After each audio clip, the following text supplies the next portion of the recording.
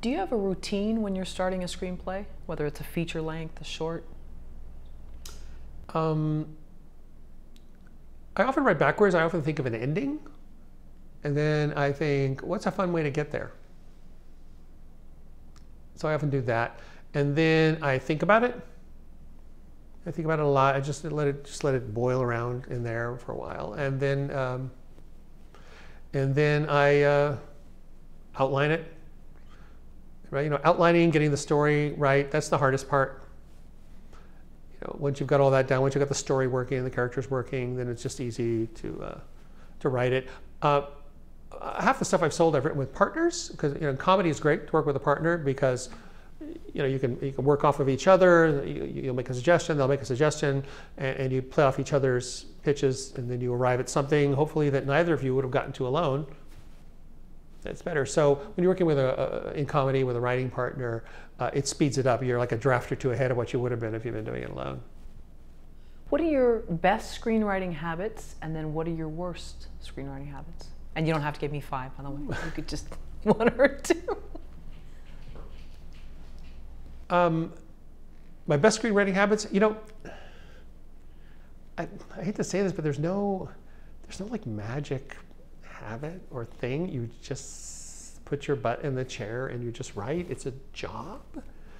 So whether you feel like it or not, you sit and you do your job. I mean, there's no magic. I've had some young writers say to me, Oh, I'm going on this writing retreat for a weekend so I can finally work on my script. And I'm like, I've never been on a retreat to write. I just just write. There's nothing magical about it. Sure, maybe the first draft will be you know poo poo, but if you don't write the, the first draft, you won't write the second draft. It's it, it, you just have to demystify. Sometimes people just build it up into this magical thing.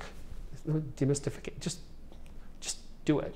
In my worst in my own writing, um, the last thing I put in is uh, visual comedy and set pieces because that's not where my mind goes first. I have to remind myself, make this visual, you know, something physical, a, a, a big set piece where crazy big stuff happens. And uh, that's just something that it's the last thing I do because I don't think about it first. So that's that's all. I just have to remind myself, oh, we could use something big here, and then I and then I put it in. And is that your worst screenwriting habits or bad? I mean, that's my about, worst. Oh, that's your worst. Okay, that's my worst. That's that's set, like set. that's like a, a, uh-huh. a, a, weakness. It's a weakness okay. that I that I don't that it's not like there from the start. I have to say, uh, you know, it's like when you leave the house and you go, oh, did I leave the stove on? uh, I may have to be like, oh, did I put in some physical comedy? Oh no, okay, that's all. I mean, there's nothing mysterious about it. You just just write, just write your script. I mean, you can't you can't teach writing. You're either a writer or you're not. You can teach technique, you can teach craft, you can teach how to fix certain problems, but if you're a writer, you're writing every day. And if you don't have time to write every day, you're, you're thinking about it.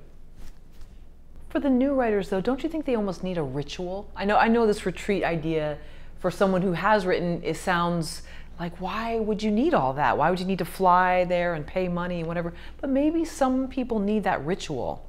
No? Just, just you know, in churches they had rituals. Christmas time is a ritual.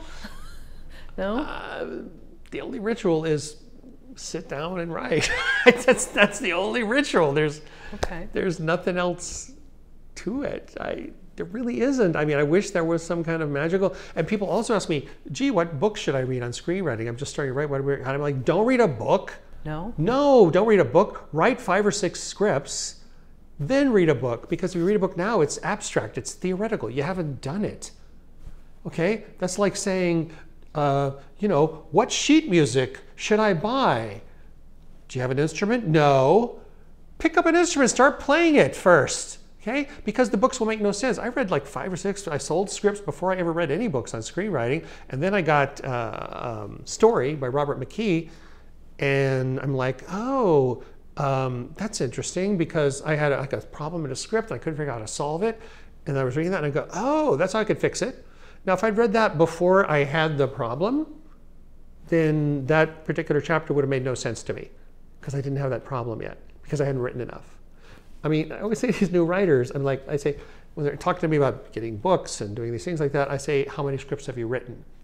And if they answer me with a number, if they know how many scripts I've written, how, how many scripts they've written, they haven't written enough scripts. You should know how many scripts you've written. You should be writing so many scripts that you'd have to think about it for a minute and figure out, oh, I wrote this and that and, and if you know like how many drafts exactly you did of something, you haven't done enough drafts. I mean, once you do so much of this, you build the muscles. You just keep writing, writing, writing, writing. You build up the writing muscles, and then you don't need rituals. You don't need this stuff because you know you built it up. You can do it. You said earlier about writers under 30 that they really hadn't lived life, and I'm sure it would depend on the individual. Yeah. I mean, you know, there could be some people that have lived by the time they're Yeah. 15, and others by the time they're 50. You know, everything's been safe and easy and taken care of for them. But what are some things where they could live life? Let's suppose they have just a normal life with some good, some bad, ups and downs. How can they how can they live life to sort of, you know, get a sort of a writerly brain? I know that's a really bad term, but I'm, it's we're getting toward the end here. But I mean, you know, so so they can kind of have be, be a little more well-rounded by 30 or whatever age. Doesn't Well- matter what age, I guess. you just have to be around people. You have to have friends and you know romances and things like that. And you get your heart broken and uh, break some hearts and uh, you know just you know don't don't sit at home watching you know don't go to work for your day job come home and watch tv for six hours and go to bed. Go go to meetups. Go do stuff. Be with people because that's what matters. I thought i was some weirdo who liked doing this but i found out that other people other writers like to do this which is if you're in a cafe or whatever eavesdrop on the people around you because you're you're hearing real dialogue and real stuff. And it's really illuminating you know? So i don't know. That's the only advice i can offer is to just get the heck out of your out of your uh, apartment. Get out get off your futon. Go live life